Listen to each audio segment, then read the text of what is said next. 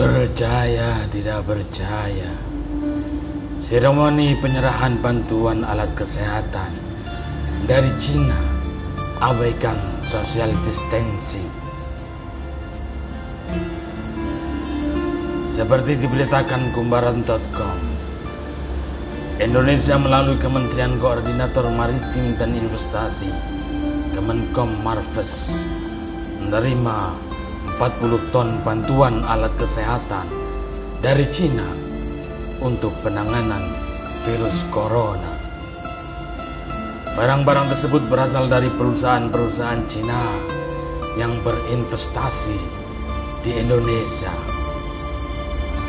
Pasokan medis itu terdiri dari tes kit COVID-19, swab kit, masker N95, masker bedah, hingga alat pelindung diri seperti baju, kacamata, sarung tangan, dan alat kesehatan lainnya.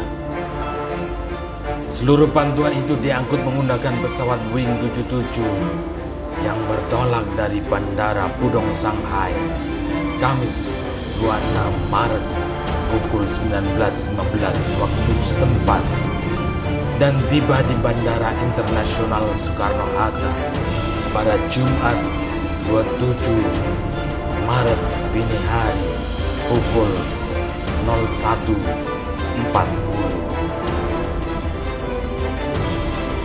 Seremoni penyerahan bantuan secara resmi digelar pukul 08.00 WIB pagi tadi di Gudang Angkasa Pura Kargo 530 Bandara Soekarno-Hatta, Tangerang, Banten. Undangan bagi media yang mengharapkan kehadiran secara fisik sudah disebar sejak sebelum acara. Sehari sebelum acara.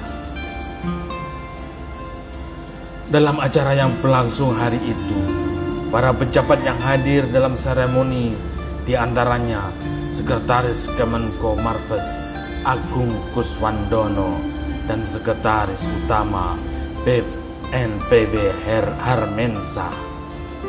Namun ironisnya, acara penyerahan bantuan untuk penanganan wabah virus corona justru berpotensi menyebarkan virus corona. Sebab acara yang ramai karena mengundang banyak awak media digelar tanpa menjalankan social distancing.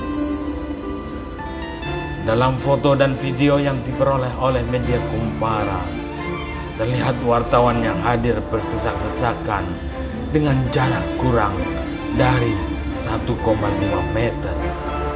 Meski sebagian besar memakai masker, foto dan video acara itu juga beredar viral di media sosial dan mengundang kritik warganet. Terkait hal ini, juru bicara Kemenko Marves, Jody Mahadi, menyampaikan permintaan maaf. Pihaknya berjanji akan bertanggung jawab bila ada peserta acara yang mengalami gejala COVID-19. Kemenko Marves juga menyatakan akan memantau wartawan yang hadir dalam acara tersebut. Evaluasi akan dilakukan agar acara yang tidak menjalankan social distancing seperti itu tidak terulang. Percaya tidak percaya.